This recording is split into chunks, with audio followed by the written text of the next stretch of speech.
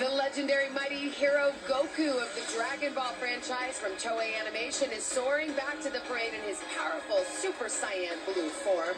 This protector of Earth was the very first anime character to join the parade's lineup. 2024 marks the 40th anniversary of Dragon Ball Comics, which of course has grown into a global phenomenon spanning TV shows, movies, trading cards, and fashion. Goku, a hugely popular guy, and also a measuring 70 feet long or about half the height of the Statue of Liberty.